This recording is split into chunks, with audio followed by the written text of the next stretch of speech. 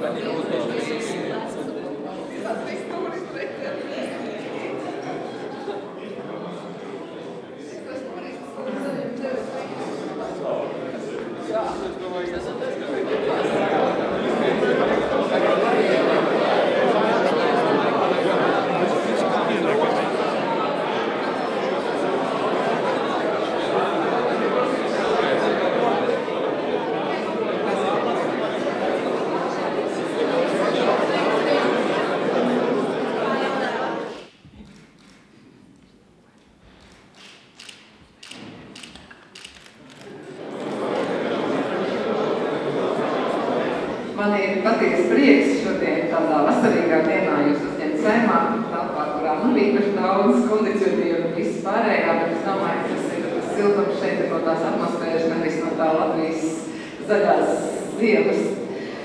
Iepriekšējā reizē mēs tikāmies tiešām ziemā Ziemassvētkos, un pēc šīs tikšanās gan no daudziem no jums, gan no saviem parlamentu kolēģiem dzirdēju, ka šāda tikšanās ir ļoti vērtīga, tās ir nepieciešams, lai gan politiķi, gan diplomāti varētu savstarpēji apmainīties ar viedokļiem, iegūt viens no otru informāciju, un tas palīdz tālāk darbā.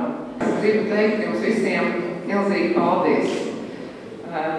Jo tas darbs ar tiem mazajiem resursiem, ko jūs darat, jūs to nedarītu no sirds, jūs to nedarītu ar misijas apziņu, ar pārliecību, tad droši vien mūsu valsts nebūtu tik labi pārstāvēta. Un es tiešām lepojos ar jums, ar saviem bijušajiem kolēģiem, jūs joprojām esat mani kolēģi, un saku jums milzīgi paldies, un vēlos uzsaukt tostu par jums un par Latviju, ar saules mūžu Latvijai.